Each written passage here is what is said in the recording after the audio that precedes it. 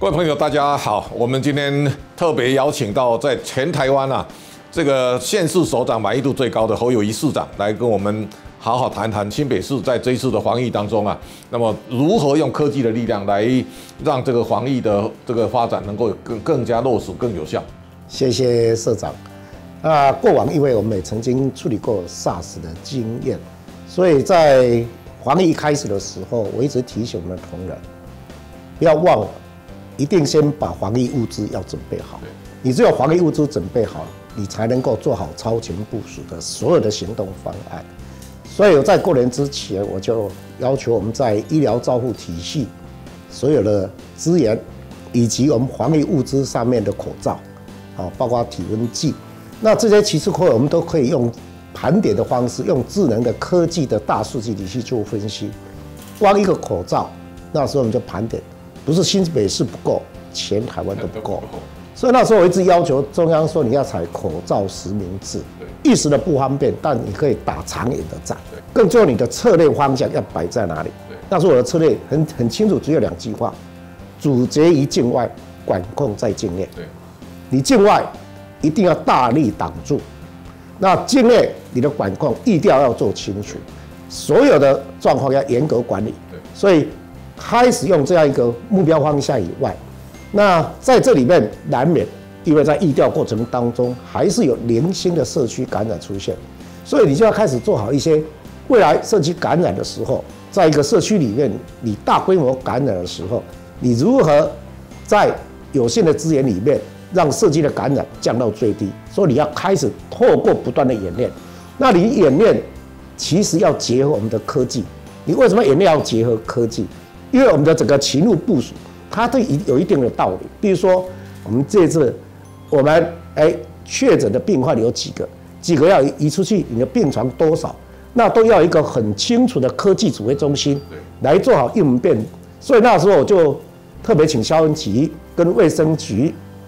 成立一个叫前灾型的智慧指指挥决策系统。所以我们要结合我们原有的指挥系统。就把防疫也把它纳进来，那你防疫要透过整个社区里面随时监控系统，然后随时确认个案移动的状况，要把它掌握得很精准，然后在指挥系统里面来做好实际的一个演练，甚至包括未来万一社区感染变成多个社区感染的时候，如何做好超前部署的整个城市有限度的限制民众的这些。生活的方式也可以让他们防疫能够做到位，所以其实都是要靠我们的前瞻型的智慧的指挥决策系统来做这个判断。那我从十二月一号开始，我也是严令所有要到关内应代城就要戴上口罩。很抱歉，这是一个规定，全民要配合。你要享受快乐，一定要先确保防疫。所以其实我们都用科技来做监控，比如说手机的量。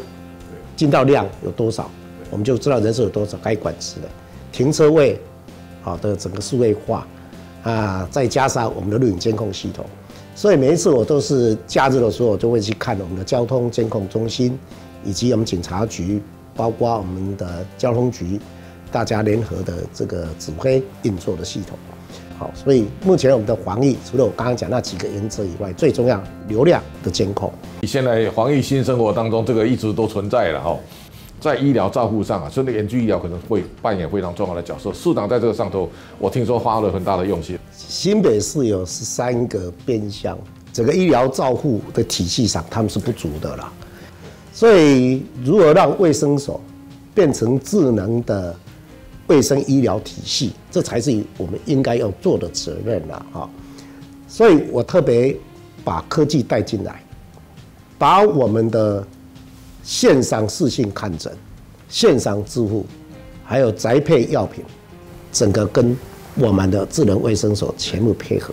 我们卫生所有医疗体系的医生驻点，那驻点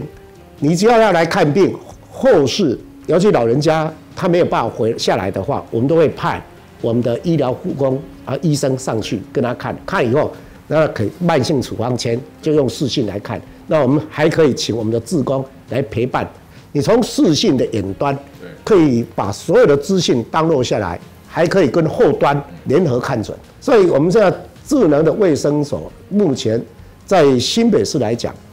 我们到一百一十一年，我十三个智能卫生所全部要成立，现在已经成立了六个，那一百一十一人要整个要把它成立起来。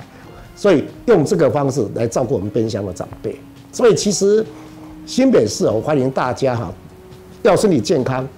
就到我们新北走一走。这个如果站在市民的角度，新北市民非常服气啊，选了一个非常好的市长来带领大家。呃，谢谢大家的鼓励哈，我们大家一起努力，希望新北市好，然后北台湾好，台湾会更好。谢谢市长，谢谢谢谢。好，我们今天就到这里告一段落，感谢大家的观赏。